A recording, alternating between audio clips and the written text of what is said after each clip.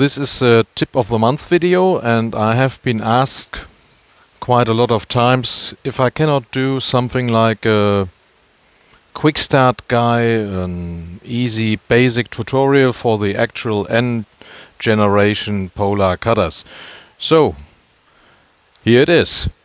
I'm standing in front of an N137 Plus now and um, the main button switches will be the same on the Pro. Um, later on in the video, if you watch the, the timeline a little bit closer, if you go with a mouse over it, then you can see that there are different chapters in this video and then you can switch directly to the beginning of the N Pro or N Plus whether is uh, whatever is more important to you. So yeah, main switch is here located. You have to press the green button to start the main engine. We have yeah, as on every cutter, two cut buttons here. We have the hand wheel here. The hand wheel um, back gauge drive forward is um, pulling on the hand wheel. Pressing the knob is back gauge drive backward and the fine adjusting in is um, to press the ring in and then to turn right or left side. So in the meantime the software of the Plus generation has started up. Um, what else is important from the hardware? We have um, a switch, a hardware switch to activate the um, air cushion on the table. Now the air cushion is on. If I want to switch it off, I can use the right cut, cut button. Yeah. That's all for the introduction and now you can um, take a look on the timeline and go to the chapter for the Pro or you can stay in this video. This video is about the basics to operate the N Plus generation. So I will not dig into every button, but I will give you a rough overview so that, so that you are, should be able to make a small program and to cut with a program with this introduction. After you have switched on the machine, the machine will come up with this screen with the last program you have cutted. So for cutting, I will give you a rough explanation about the really essential buttons. First of all here with the engine, if you press that button, you can switch on the main drive and the blower. And here you can switch between table light and with a cut line indicator, or you can switch everything off. To activate a cutting program, you have to use this button and then for getting to the first program line you are tapping on the first line in the program and on back gauge go and there you go. I'm now on the first line and I can straight uh, go and cut my material. Now to make a program we cancel this program and to make a new program I'm going into program overview that's this button with a P, P for program overview. Um, I will be put on the first vacant number, which is the 22. We have two different sections, A and B. Switching is very easy. I just have to tap on A and then I'm in memory bank A. And there we have the first vacant program number 235. If I want to take that, I simply press on the equal and I have an empty program now. Now there's many different choices to, to program a program. Um, I simply can put in the values. Let's take something simple, 71 centimeter um, on the long side. Let's take 101 and then 70 and 100.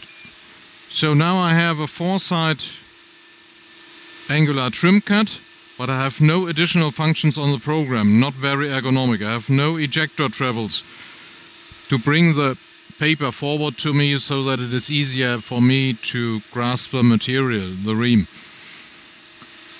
To do that, it's as well quite simple. I have to make changes to the program now. If I want to do that, I need first of all the edit button to be switched on and the correction button. That's this button here. And now I can either I can correct my my cutting position or I can add additional or add or delete additional functions.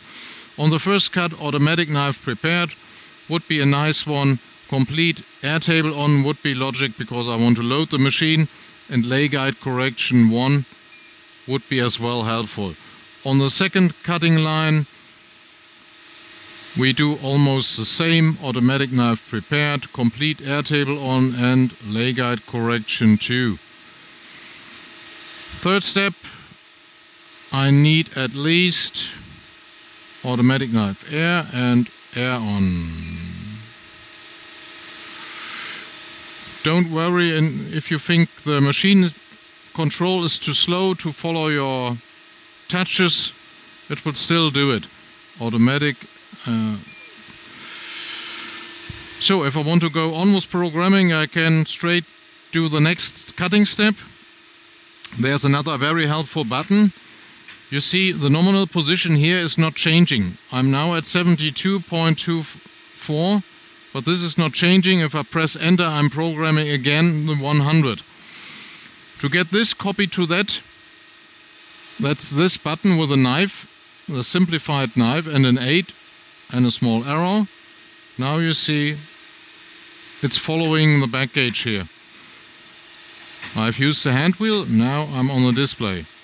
I have a slow movement and fast movement button.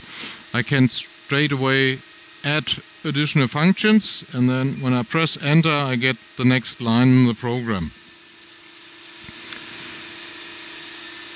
Next important step would be to give a program a name. That's easy as well. On the next button here, this is the D stands for data sheet, I for program information. And this is my keyboard for letters. I just tap on it and I get that a little bit bigger. I just name it test drive, enter. If you want to change the name afterwards, you will note that my keyboard is gone now. I have to press first correction and then the keyboard is there. I can enlarge it and then I can override or change my program name. Going back to datasheet. Here you go, there's your program. What else is essential? Um, Maybe machine parameters is as well quite important. There's a lot of bits and pieces about the back gauge speed to set that up but this one is the most important one, pressing time before cut. Um, this, that is the time the clamp bar goes down and then the time before the knife gets the signal to start cutting. If this time is too short, for example, if I go on one, the knife action after pressing, after activating the clamping bar is very, very quick and especially on paper which you can compress a lot like thin paper 30 GSM or 60 GSM um, it would be a bad idea to go on one because it might happen the blade is already inside the cutting the paper but the clamping pressure is not built up fully. So to give this a two or three is a good idea unless you have really something very stiff like for example art paper. Art paper you can't compress a lot so on art paper the one would be okay yeah I'm taking a quick look but I think that is the most essential functions to enable you to make your first cutting program on the N plus generation. This is a general introduction video for the Polar N Pro generation. So when you switch on the machine, the first screen which will come up is this screen and I can log in now. I just tap on my name and then I have to enter my password. If there's a password, it's possible to assign a user account as well without a password. In my case, it's with a password. And I'm coming to this screen, which is the main menu. You can see on the upper left corner where you are. This is main menu. And maybe a bit unusual is that to go into a program, I can tap on the text here. Normally, everyone would expect that these are clearly buttons where I can tap on, but as well the machine will react on if I'm touching on text. For example, this is the order name and this is the program name. There's always an order and a program inside that order. When I touch on that, the program is opening. I'm now I'm now in the order tutorials and in the program combination. Next thing is there's no numeric keyboard available. Sometimes it's hidden. To get it up again, I just have to tap on the backgauge value and then I have my keyboard back on the screen.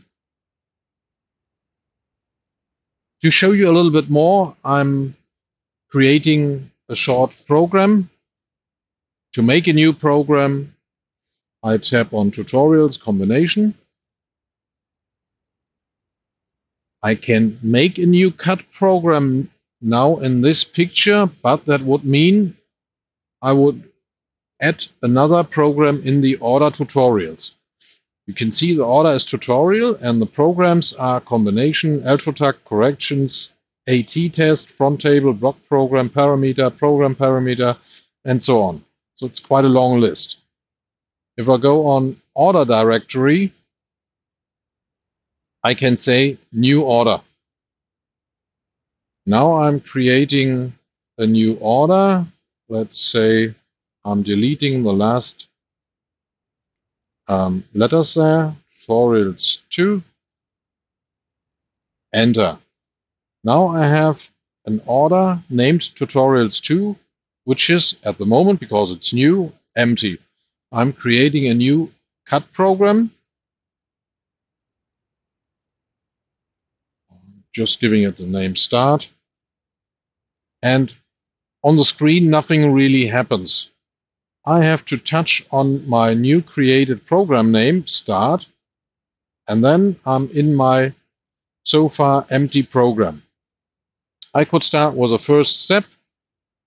Um, for example, maybe I want to have a jogging mark as a beginning point. So I tap on jogging mark. You can see the machine has added this icon now. The value could be 30 centimeters, 30 centimeters. And the machine is automatically switching to the next button here for the additional functions. For the first step, it would be nice to have the air on, so I'm adding the air, and that could be everything. So I hit enter, I have my first line in the program. Next thing would be the um, first cut position, which could be, for example, 69. I would like to have automatic knife ready. Um, the air on, yes, because I have to realign my material. Lay guide adjustment 1 makes sense. Auto trim, if I have a machine with auto trim, would make sense to have the first trim cut with auto trim. Swivel back gauge I can switch on and I can slide, scroll down here what else? No, the rest I don't want to program was this cut, enter, and I have the second line and the first cut position. Next thing could be 99 centimeter, lay guide adjustment 2, auto trim. What else do we have? Switch on air would make sense. Automatic knife ready. And swivel back gauge. Yeah, let's create some more cuts. Uh, 68 um, and 98. So I have a four side trim cut now. And the machine is automatically making an ejector travel when the next value is larger. So here I get an ejector travel here not because the value is shorter. So it could make sense to put in between 99 and 68 an ejector travel. Very easy. If you make a double touch on one position, everything is moved down and a new line is opened. So I can say yes, programmable ejector, and the value could be 40 centimeter. And it would make sense to have the air on, and that's it. Next thing could be maybe I can enlarge this a little bit to see my additional functions. I can see for the actual line here, but to see the whole program could make sense to open up here a little bit by touching on this button. I would like to have automatic knife prepared on every cut position.